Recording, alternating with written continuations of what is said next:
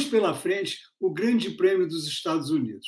Um grande prêmio bastante interessante, que, em princípio, leva à suposição é, de, um, de um domínio da, da, da, da Mercedes. Isso porque é uma pista é, que privilegia a potência maior dos motores e a Mercedes conseguiu, pelo menos até o Grande Prêmio da Turquia, um desempenho muito superior em termos de potência, comparando com a Red Bull. Isso porque ela estava com dois motores novos, tanto no caso do Bottas, um motor seminovo, e no caso do Hamilton, um motor zero, conseguiu recuperar mais ou menos coisa de 15 cavalos, 16 cavalos, que é a diferença do motor novo para o motor mais usado, como era o caso do motor do Hamilton, que já estava sendo usado desde o Grande Prêmio da Bélgica. 15 cavalos a mais. Também a Mercedes, os engenheiros de motor da Mercedes, desenvolveram mais um mapeamento ainda mais agressivo, que valeu a eles, em média, 6 a 7 cavalos. Nessa brincadeira, eram 22 cavalos a mais que a Mercedes apresentou no Grande Prêmio da Turquia. Um grande prêmio também onde a Red Bull não teve seus melhores momentos, não conseguiu equilibrar frente e traseira, principalmente é, por causa da maior aspereza do circuito. Era um circuito que né, foi lavado com jato d'água um mês antes da, da corrida, e esse jato d'água é, tirou uma camada superior uma camada superficial do asfalto e deixou as britas um pouco mais afloradas. Com isso, você tinha uma aderência que não era esperado por ninguém, nem mesmo pela Pirelli. Então, o que acontecia? Acontecia um desgaste muito grande dos pneus traseiros, foi o caso da Red Bull. Então, eles tiveram que optar por uma asa traseira maior, exatamente para cuidar melhor dos pneus traseiros. O carro saía de frente e a Turquia não foi o que a Red Bull esperava. Mesmo assim, eles conseguiram ainda reverter a situação no campeonato. O Max Verstappen conseguiu um segundo lugar, enquanto Hamilton, que largou atrasado, largou por causa da troca do motor, não conseguiu ir além de um quinto lugar. Claro, teve toda aquela discussão sobre troca de pneus, uma corrida que não se esperava que fosse molhada do começo ao fim, se esperava que ela secasse, que a pista secasse é, no, no, na, na fase intermediária da corrida, o que não aconteceu. Pegou muita gente de calça curta, inclusive o Lewis Hamilton. E a Mercedes. Não vamos aí é, colocar todos, todos os pecados em cima de um santo só.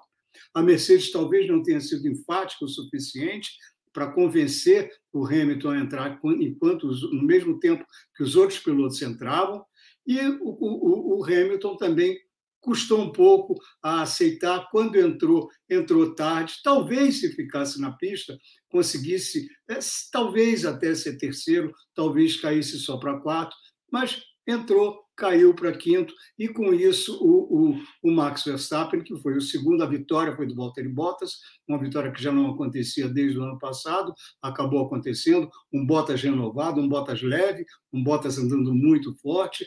Então, o que se viu foi o Max Verstappen chegar à Turquia dois pontos atrás e sair da Turquia seis pontos à frente. Agora eles vão para os Estados Unidos. Os Estados Unidos tudo aponta, é, pelo menos historicamente, na direção de mais um triunfo da Mercedes. Ela, ela teve é, seis, cinco vitórias do carro Mercedes e uma vitória McLaren com motor Mercedes.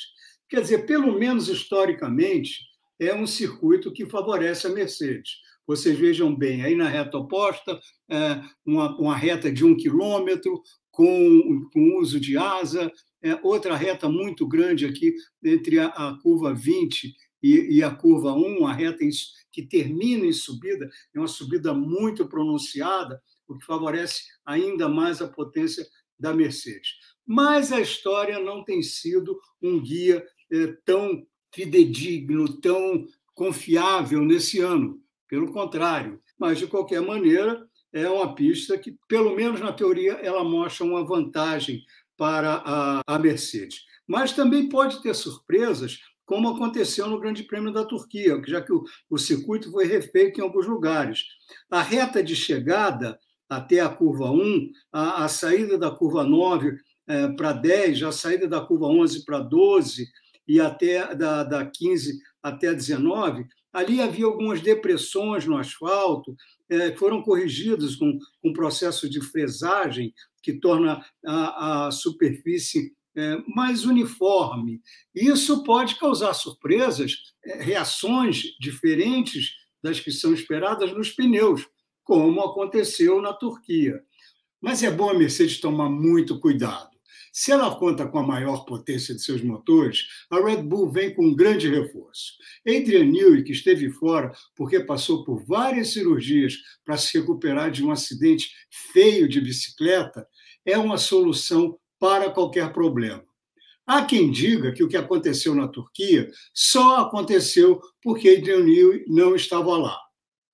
E se estiverem bem acertados, os carros da Red Bull podem tirar muito proveito dos S's a la Silverstone e a la Japão, que vão da curva 3 até a curva 9, e também podem ser muito, muito mais fortes do que a Mercedes na curva de baixa, que vão da 13 até a 19. Outro ponto que pode ser crítico nesse grande prêmio são os pneus, que, por sinal, serão a faixa intermediária.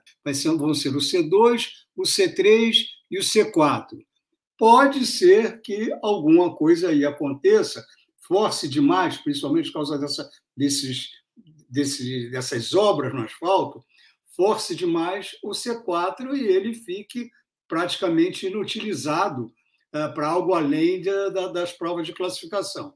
E vamos ver uh, tudo isso a partir da sexta-feira. Sexta-feira, 13h30, treino livre, 17 horas treino livre. Isso lá no Texas há uma diferença é, de, de fuso horário bastante grande para a gente. Né? No sábado, às 15 horas, treino livre, às 18 horas, a classificação.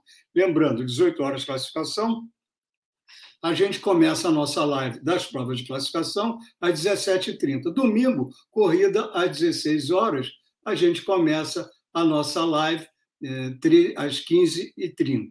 São 56 voltas, a pista tem 5.513 né, metros de extensão, a, a quilometragem da corrida 308,405 quilômetros, e o recorde da pista pertence ao Charles Leclerc desde 2019. Lembrem, 2019 foi aquele motor tão controvertido da Ferrari, o motor que dava à, Ferrari um desempenho é, nesse tipo de pista fenomenal. Mas aí a vitória. A vitória foi, foi, uh, foi do Valtteri Bottas, e no ano passado, no ano anterior, tinha sido ainda mais inesperada uma vitória da Ferrari com Kimi Raikkonen. Ferrari, aliás, que deve travar mais uma boa batalha com a McLaren. A McLaren tem o motor Mercedes, mas a Ferrari está com o motor melhorado, desde que instalou um novo sistema elétrico que passou de 400 para 800 volts e deu um ganho de aproximadamente 10 cavalos, que vão valer muito nessa pista.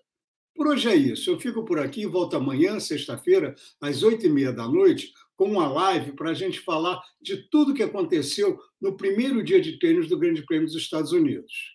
E não se esqueçam de deixar seus palpites no bolão do Lito. É só entrar no meu site www.litocavalcante.com.br e dizer quem vai fazer a pole position, quem vão ser os três primeiros e quem vai fazer a melhor volta da corrida. O prazo para deixar o palpite é até o começo do Qualify. Mas o melhor é apostar agora e, se for o caso, modifica o palpite antes de começar o Qualify. A gente se vê amanhã. Até lá.